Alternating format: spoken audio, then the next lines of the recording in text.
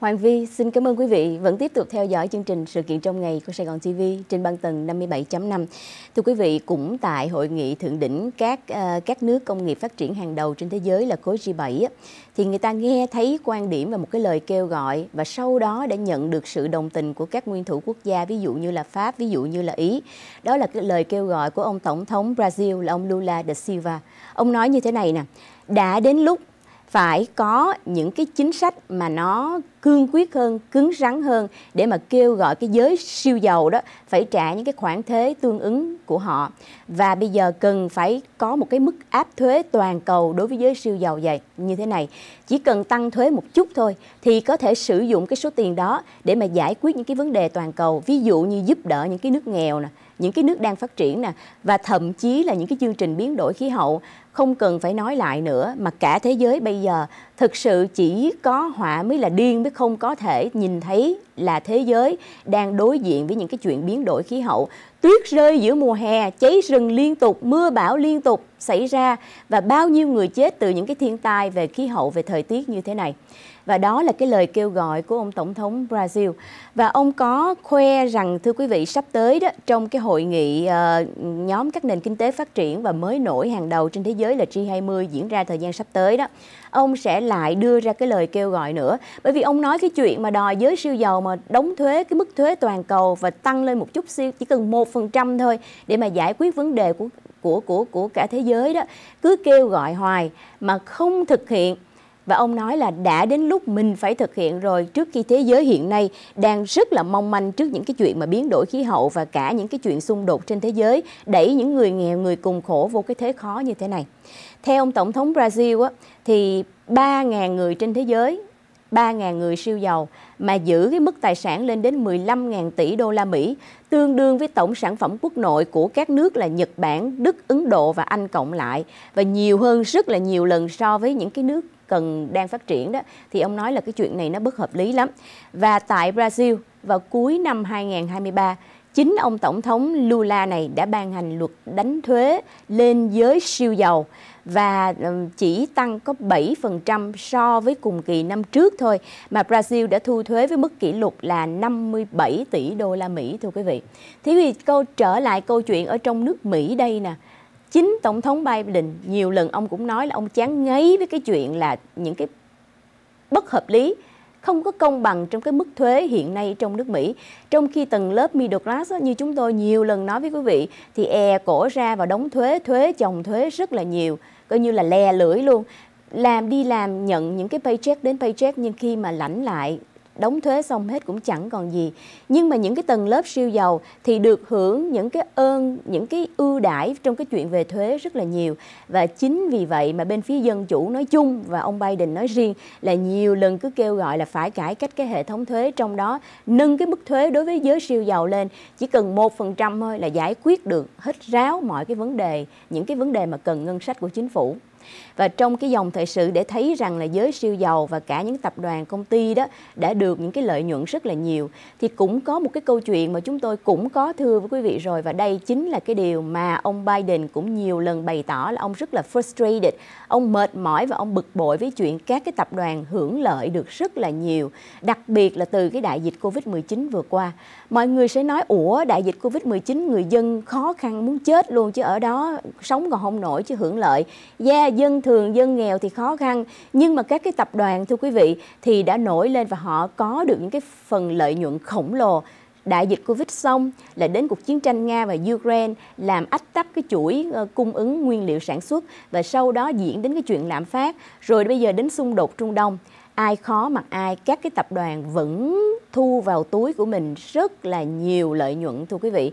Đến mức độ trong nước Mỹ bây giờ có một cái cụm từ là greedflation, có nghĩa là lợi dụng lạm phát để có được những cái thu nhập khổng lồ. Và cái chuyện đó là cái lòng tham không đáy, greedflation và ông Biden đã nhiều lần nói rằng các cái tập đoàn, những cái khu chợ đó, áp những cái giá, những cái tập đoàn bán lẻ đó, tại sao mà lạm phát nói rằng không có đủ hàng hóa để bán thì ok, bây giờ tăng giá mà bây giờ mọi thứ trở về lại bình thường rồi, họ cũng đâu có xuống giá đâu, thưa quý vị.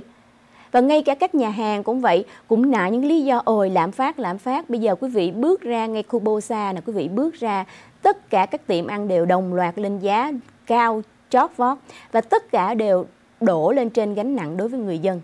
Trong số những cái tập đoàn mà bị chỉ trích là greedflation đó, là tham lam và làm là có nhiều cái lợi nhuận từ cái lạm phát đó thưa quý vị thì những cái tập đoàn như là Shell tập đoàn về năng lượng như là Shell nha như là Exxon Mobil nè và Chevron thì chúng ta biết rồi.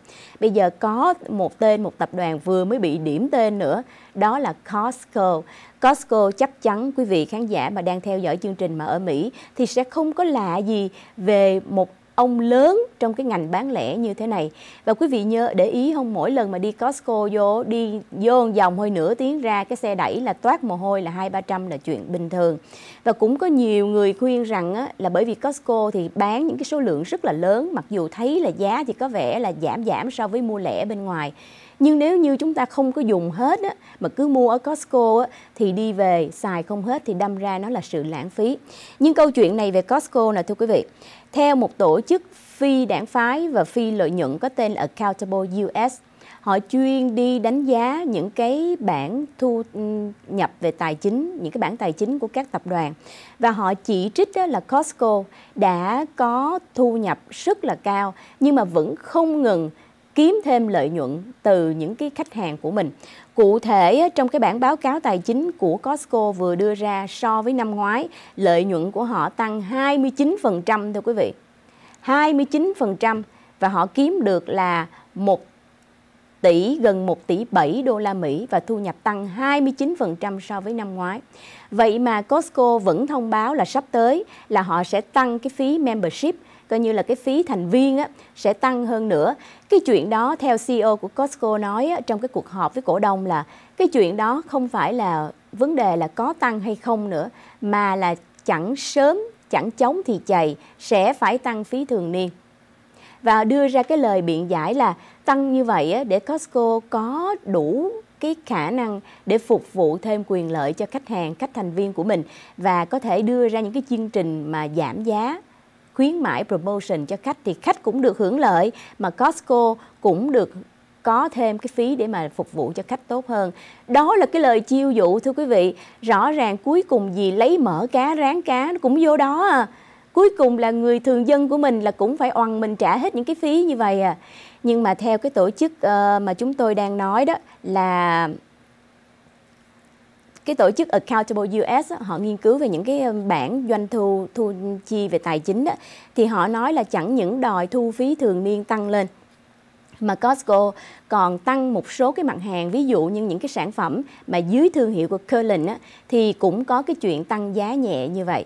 Và họ đi đến kết luận là trong cái thời buổi lúc nào cũng nại lý do là lạm phát lạm phát lạm phát.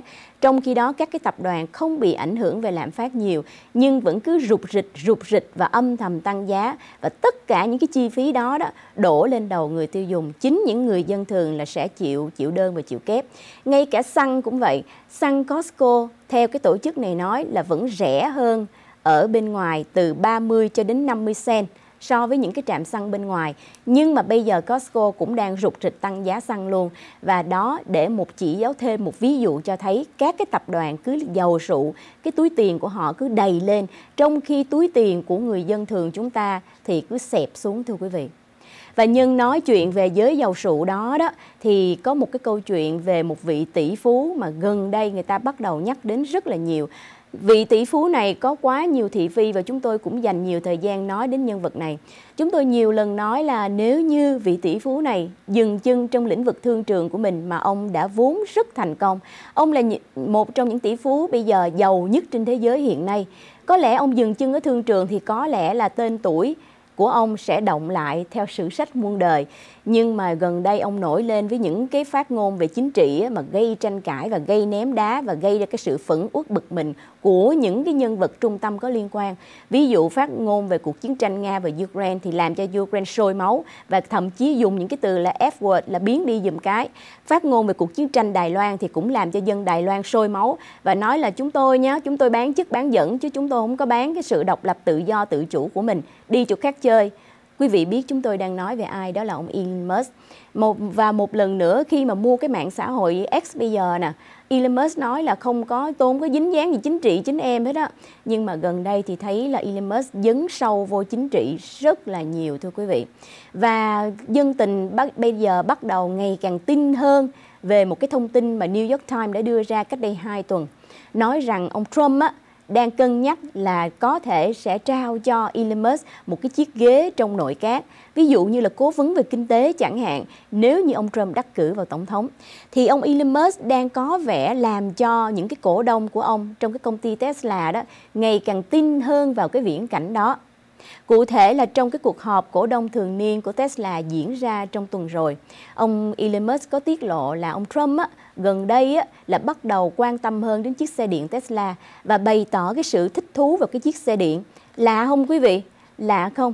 Bởi vì ông Trump từ đó tới giờ là lên án ông Biden rất là nhiều. Thậm chí còn nói ông Biden là stupid khi cứ đi loay hoay mà phát triển cái chiếc xe điện hoài, làm gì có chuyện biến đổi khí hậu? Phát triển xe điện làm cái quái gì? Năng lượng xanh, năng lượng sạch làm cái giá là quái gì?